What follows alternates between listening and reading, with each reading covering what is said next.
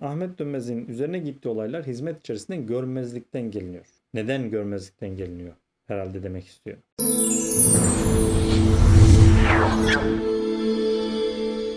Bu çok basit yani kendiyle yüzleşme meselesi zor. İkincisi bu hassas ve e, ince bir dengeye sahip. Bence Ahmet Dönmez o dengeyi kaybetti. Ee, bunu kendisiyle bir program yaptığımda da izah ederim. Ahmet Dönmez'in bu dengeyi kaybetmesi cemaatin bunlar tartışmasının önüne mani değil onu söyleyeyim ama insanlar artık bu bağlamda bunu tartışmayacaktır. Yani onu da söyleyeyim. Çünkü o şeyi yitirdiğini düşünüyorum. Ee, başladığı başladığı zamanki meşruiyet ve e, sağlıklı zemini koruyamadığını düşünüyorum. Bundan öte bu tartışmalar yapılacaktır ama Ahmet Dönmez'in üzerinden değil. Ama cemaat neden yapmıyor sorusu? Çünkü sosyolojisi müsait değil. İnsanlar kendileriyle yüzleşmeye hazır değiller.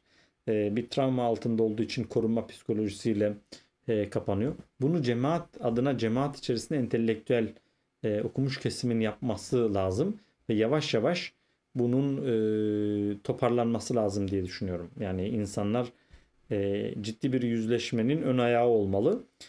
Bunu buna bunu bu sağlanırsa cemaat tabanında da bu tartışma olur. Öte yandan insanlar yani tıpkı Sedat Peker'in iddialarının Türkiye'de tartışılmak istenmemesi gibi cemaatle ilgili iddialarında cemaat tarafından tartışılmak istenmemesi tipik bir Türk refleksi. Görmezlikten gelirsek ortadan kaybolur beklentisi. Maalesef öyle değil. Yani ne oldu Osman Şimşek Cevdet e, Türk yolu tartışması 3 yıl görmezlikten gelindi. Ta 2017'de olmuş hadise. Ne oldu? Çözüldü mü? Çözülmedi. Büyüyor. Daha da büyüyecek. Ben önümüzdeki bayram acaba bu bayram Cevdet Bey ile Osman Bey barışacaklar mı?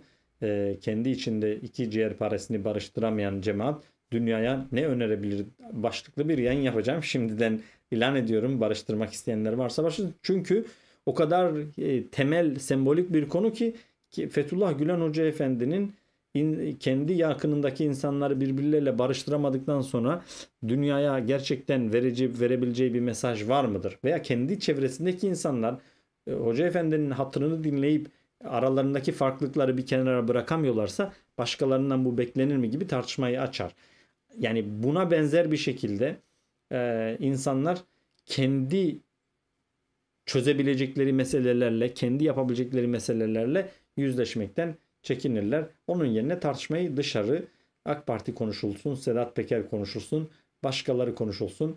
E, bu mevzular konuşulmasın, unutulmasın diye bekler ama öyle olmaz. 3 sene sonra daha büyür, 4 sene sonra daha büyür, 5 sene sonra daha büyür. Oysa konuşulup çözümlenmesi gerekir. Hataların kabul edilip geleceğe yürünmesi gerekir. Ama bakalım bunlar yapılacak mı göreceğiz. Evet.